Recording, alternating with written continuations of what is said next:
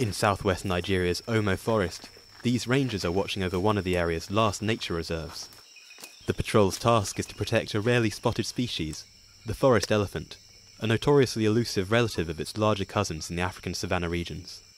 Human activity like farming are a major challenge.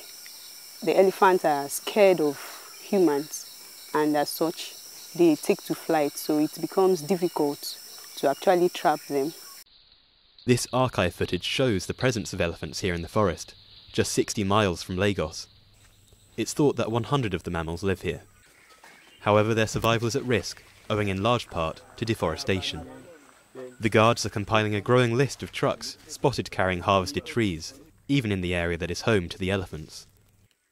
Removing trees in elephant habitat is exposing them whereby they will not be comfortable. They want to look for a better cover. So it displaces them from their original home to somewhere else. Much of the forest is a UNESCO protected biodiversity site, but not all of it. To cater to Nigeria's ever expanding population, sections of the forest remain open for legal commercial activity by workers in the local villages. Some people are dependent on having access to the forest and its trees. I know how we know the work.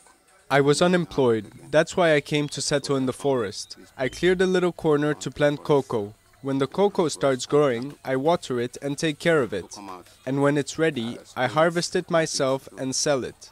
So growing cocoa here is the only way I have to feed my family. The rangers face a difficult balancing act, protecting these animals while also allowing the villagers to make a living. It's a major challenge, but the survival of the last Nigerian forest elephants depends on their success.